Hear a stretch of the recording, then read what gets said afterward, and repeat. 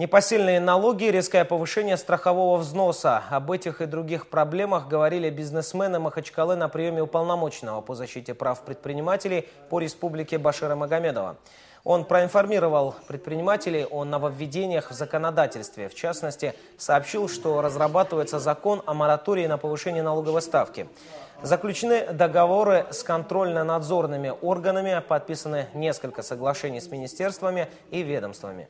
Все это делается на предупреждение выявления и устранения нарушений прав и законных интересов предпринимателей.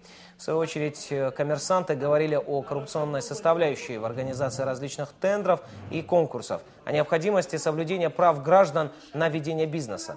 Омбудсмен отметил, что малое предпринимательство должно стать локомотивом развития дагестанской экономики. Развитие малых форм хозяйствования будут активно поддерживать.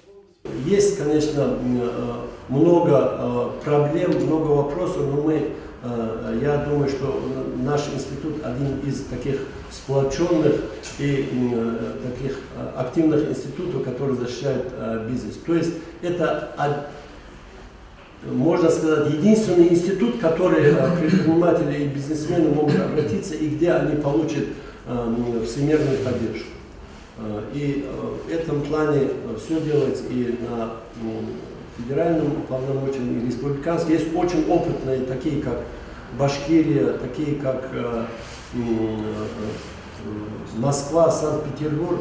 Но должен похвастаться, что по итогам 2013 года мы были в пятерке лучших э, э, институтов уполномоченного Российской Федерации.